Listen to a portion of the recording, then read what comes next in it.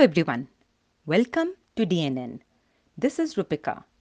Israel's foreign ministry has condemned a new Egyptian TV drama called The El Nehaya, which means the end.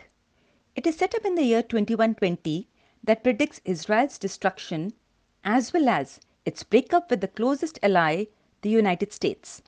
The series is completely unacceptable, especially because the two states have had a peace treaty for the past 41 years. Egypt and Israel have worked closely on security issues since 1979 treaty which was brokered by the US.